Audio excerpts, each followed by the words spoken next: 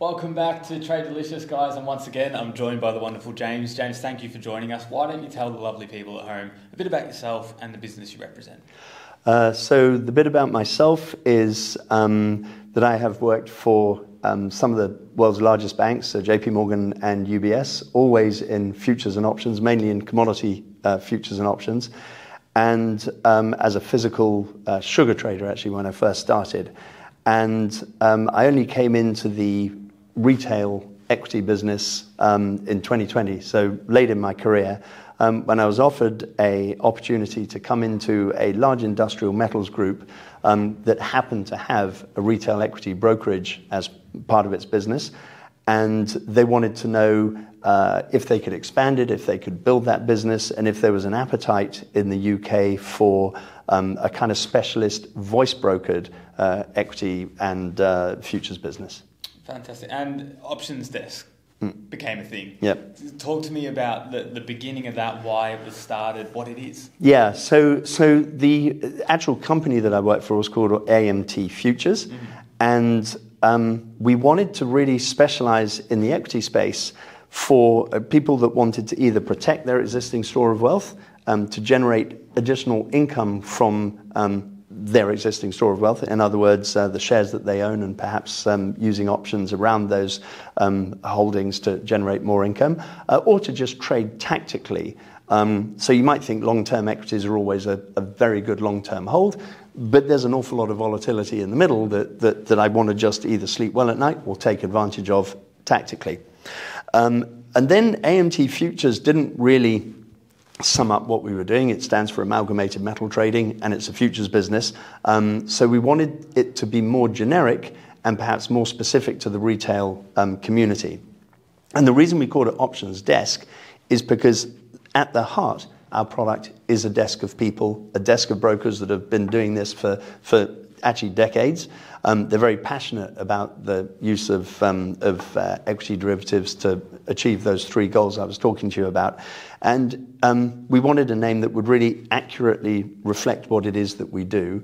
And so, although we've invested an awful lot in technology and the optionsdesk.com website, what we really want to do is ultimately talk to our clients and help them to achieve their financial goals. Awesome. And, one thing that amazed me is, is you do it literally, you speak to the clients. They, they phone in and they make trades through human exactly. contact, which is something we don't get a lot of these days. Correct. Talk to me on the decision that you've decided to almost reverse history and go back to the way it was before. What, how did this come about? It's true. So in the UK, um, after the global financial crisis in 2008, um, derivatives became a very kind of toxic word. They were Warren Buffett's weapons of mass financial destruction.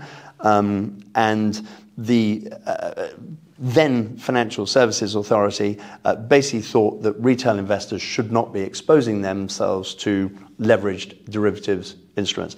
And, and the trouble is that everything got thrown into the same derivative basket. It might be collateralized loan ob- obligations, it might be collateralized securities, collateralized debt, um, all sorts of sort of mortgage backed securities, these sort of things, um, all basically got tarred with the same brush.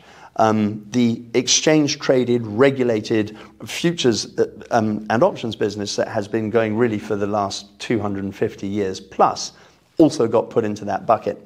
And then what happened is that the um, financial ombudsman who protects retail investors um, started coming down heavily in favor of retail investors that had traded these um, leveraged financial instruments um, and typically found in favor of them over the sell side that was, that was um, facilitating the trading of that. So if you layer onto that now um, the consumer duty, which is coming in at the end of next month, which goes from treating your clients fairly to ensuring your clients have a good outcome. So it's basically gone from fair to good. Um, we asked ourselves if we're serious about helping investors use these brilliant, brilliant tools for very clearly stated objectives, it will not be enough just to give them a platform and say, good luck, hope it goes well we, we want to make sure that when we speak to them, they understand them. Now, the answer to your question commercially um, is that you do charge higher commissions than obviously, if you're trading on an electronic platform, not talking to anybody. Um, but we think that those commissions pale in comparison compared with the um, help that you will get in in clarifying in your own mind what it is that you're trying to do, uh, and then working out what is the appropriate strategy to do that with a very clearly defined and understood, um, articulated risk reward um, uh, understanding. Yeah, so, so when people call up, they want to put on a position, they'll, they'll explain what they want to do to, to one of your guys, and, and they'll help them show different ways that you can do that. Exactly. So, so the first question, as I said, is: Are you looking to protect your existing store of wealth? Are you looking to generate income? Um, are you looking to um, trade tactically in terms of either portfolio construction or specific time-delimited events? That's the kind of starting point. Um, then we'll discuss, obviously, your um, years of trading, your understanding, and, and and the wealth that you have because you don't want to put all your wealth into these things. You really want to use them as an overlay to that existing store of wealth. Um, and then when we've established all of that, it's what is your appetite for risk. Some people want to take a very small part of their portfolio and trade it aggressively. Um, other people want to trade much more conservatively around a larger part of their portfolio. So the, the, the, thing about options, really the clue is in the name. There are so many different things that you can use them for. Um, you have to be very clear in your own mind what exactly it is that you're trying to achieve before you can decide which is the most appropriate strategy. Are you finding a lot of people like the approach of, of calling up rather than, because obviously in a technically advanced world, especially the younger generations, they love to see everything and, mm. and do everything. Have you found a, a, good transition there? So, so it's quite funny. One of the um, uh, events that we attended, um, somebody came up to us and said, Have you got a platform? And we said no. And they looked at us disbelievingly and said, What do you mean you haven't got a tap? And he said, That is the most wonderful thing I've heard all day. You mean I can actually talk to somebody mm-hmm. and go through this? And I think the point really is that if you're just making a binary decision to buy and sell, mm-hmm. um, then that lends itself to a platform extremely well. You don't really want to talk to anybody. You don't really care about what anybody else thinks. Um, you have a trade that you want to do, and you just want to express it as cheaply, as efficiently, as quickly as you possibly can. When you're looking at options, um, you're not just trading um, a directional price. You're trading time. You're trading volatility. You're trading the variance of, of one thing to another, the beta or the delta.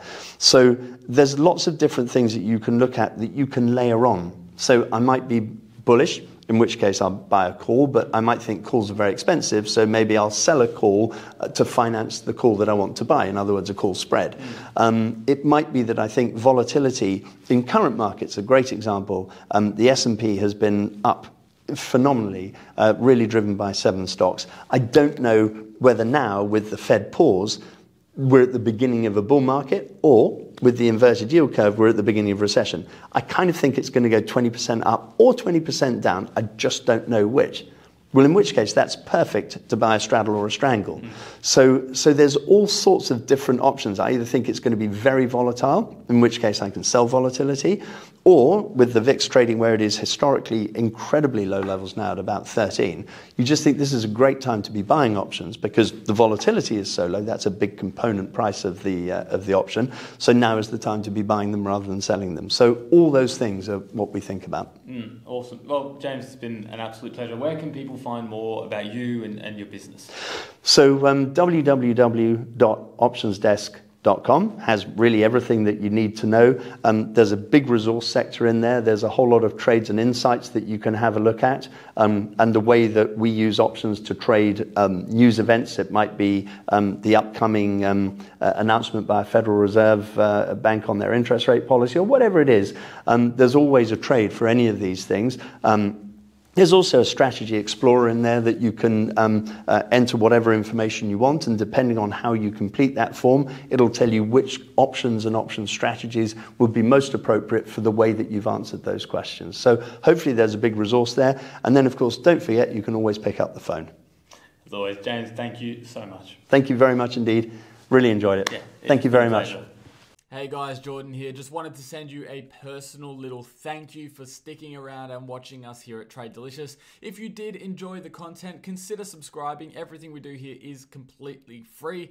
And of course, we have some other video suggestions here which you might love. We will see you in the next video.